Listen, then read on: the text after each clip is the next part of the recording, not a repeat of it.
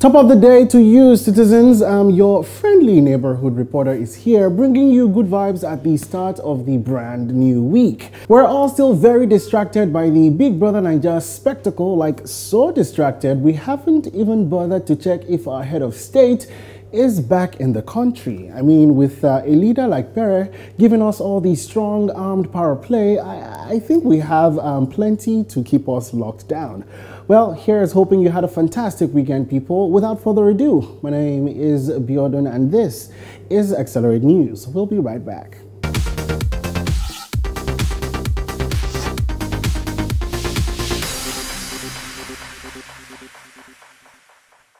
Things are heating up in the Big Brother Naija house. Last week, we saw the housemates display levels of versatility across all the challenges presented to them by Biggie.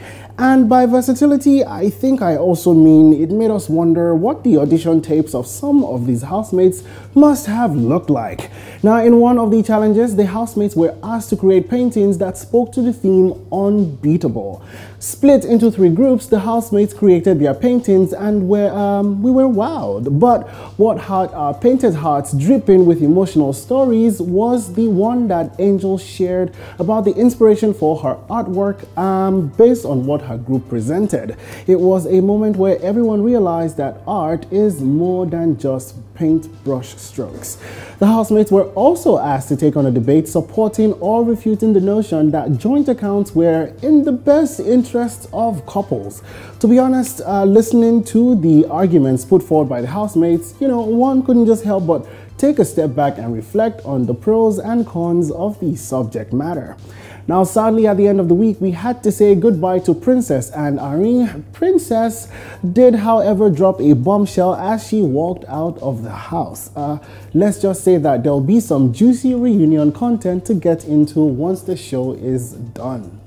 Now, if there's a prize for the most elegant and graceful pregnant social media influencer, the winner will definitely be Tomike Adeoye.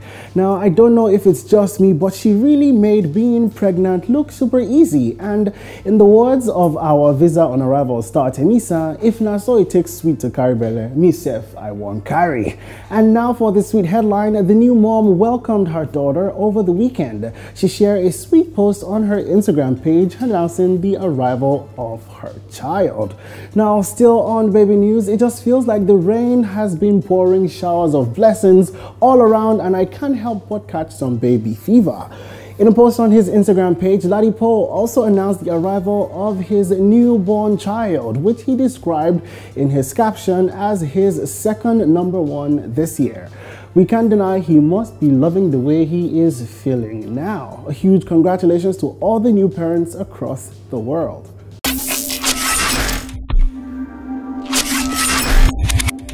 The song of the summer just got sweeter, people, because we have remixes to end all remixes. Justin Bieber has lent his ever-sweet vocals to the Summer Jam Essence by Wizkid featuring Tems. Now, I don't know about you, but the song went a whole nother level with Justin Bieber on the track, and in a post on his social media account, Justin thanked Wizkid for allowing him to jump on this song of the summer.